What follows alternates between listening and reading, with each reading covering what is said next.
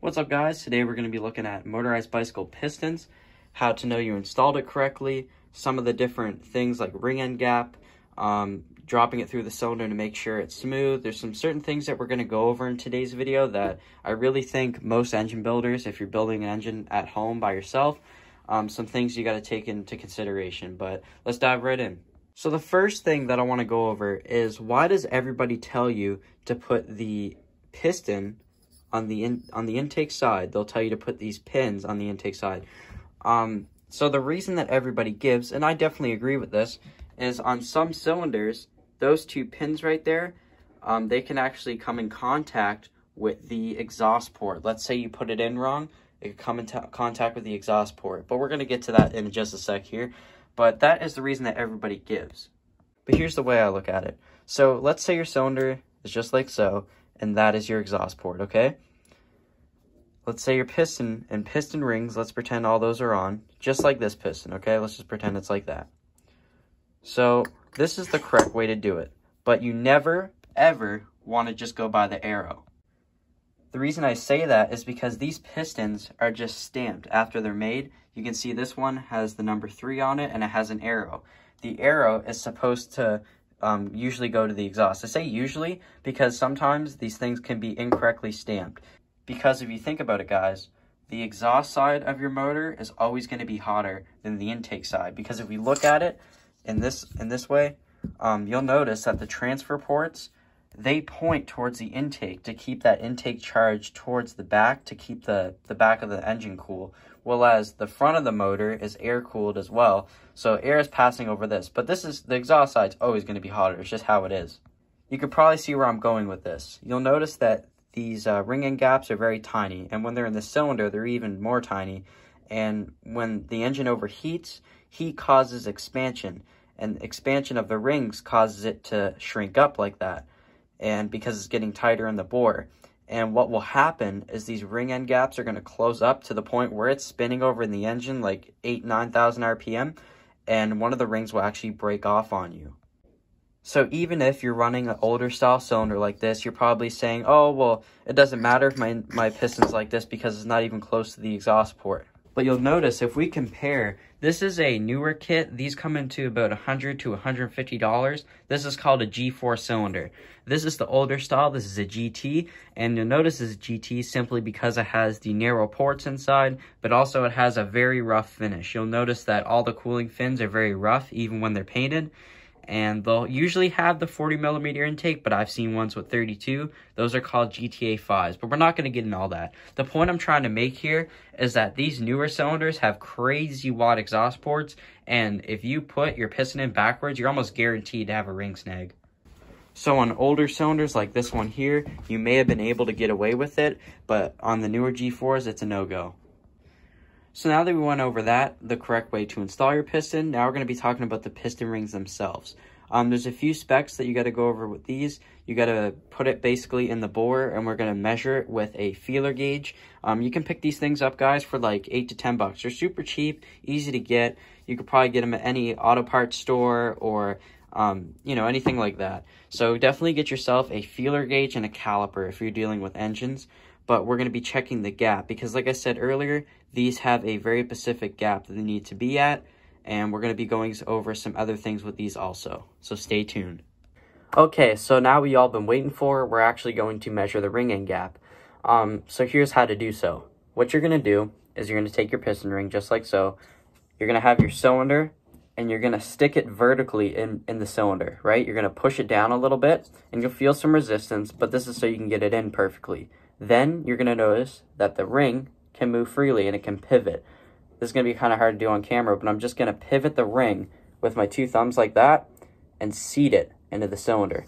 So now it's sort of flush. And this is why I say sort of, because what you need to do to get it perfectly true with the cylinder, you notice how it kind of has a high spot and then it has a low spot. You probably can't get that on camera. You're going to use your piston that came with your bike and you're just going to insert it and push it down a little bit. And that will, you can buy ring squaring tools and things like that. But guys, for these motorized bicycles, this is all you need.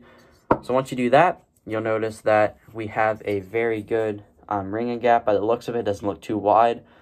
But anyways, we're going to go ahead and stick our feeler gauge in there. The number, this is where we're going to get some controversy. On my engines, I'm not pushing super high RPM. My highest revving bike may be my YD100. That might get to 9,000. Maybe. I'm going for 20 thousandths of an inch, okay? That's what I think is usable. You don't want anything really wider than that. And if it's wider than that and you have one ring like that, it's okay. Like I said earlier, just make sure you put that on the bottom ring land. But anyways, we're going to go ahead and I'm going to show you how to do this. So basically, it's pretty easy, honestly. You're going to see your ring end gap is there. And you're just going to take your feeler gauge and you're going to stick it in between the ring. And you'll notice on mine, it goes through and I can run it up and down and it's free. So that means that this ring is actually gapped to 20 thousandths. In my opinion, that's perfect. Anything, like I said, over, you can't really do nothing about, but something that is a little bit too tight. Let's say you put it in your cylinder and you're getting like 14 or 50 thousandths, you can get a ring grinder, or some people can use sandpaper. It's a little bit sketchy. The reason people use ring grinders is because it's a flap disc and allows you to really, you know, precisely grind down the ring and not just sand it down. So that's my way of measuring ring gap. Okay, so here's another couple things I wanted to go over. Um, along with ring end gap, there's some other things that you got to check. And that's the fact that if, what kind of cylinder material are you running? Are you running a uh, chrome cylinder, which most of you guys are, the G4 China dolls, these GT cylinders, some of the older GT5s, they're all chrome cylinders, right? If you're running a saw build, you could be running Nikasil. But if you're running a Minarelli or some kind of other saw, chances are it's going to have an iron sleeve. The, and also the big bore iron sleeve, most people know that motor. The 100cc as it goes. The problem with those motors is everybody, like, I find a lot of builders do this, and not saying it's a bad thing, but it's definitely not good for the ring end gap is they'll hone their cylinder, right? They'll they'll have scoring in it, and they'll be like, oh, I can just hone that out. The problem with that is that they go too far, and when they put their uh, ring back into their cylinder, it's way too damn wide, and it's just not going to work. Um, it's going to be at 40, 45 thousandths of an inch. That is going to produce no compression, and it's never going to hit the pipe, um, the power band, whatever you guys want to call it. So just be careful of that. I'm not saying you can't hone cylinders to get a little bit of the cross hatching back. Once you do it two or three times, man, that cylinder at that point is just not usable. Um, so the benefit iron sleeve, yes, it's kind of like a double life. Once it goes bad, you can hone it out to use it again. But at the end of the day, they're also 30 bucks and you can just buy a new one and, you know, be confident that your ring gap is going to be right. Um, here's a couple other things as well.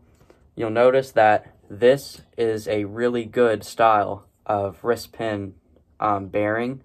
I like these a lot better. You may notice that a lot of these newer engines, right, like the G4s and some of the new YDs and stuff, they have this ticking sound. And this all this is either the the lower conrod bearing itself or the wrist pin. If this is like a moped style, if you guys can upgrade to this, go for it because if your engine's ticking and has that crappier bearing, I'll throw up a picture this is the better bearing to go with. It's wider, so it gives that piston more support when it's on the wrist pin. You can see how that goes. And it also is just better quality. It has a tighter tolerance.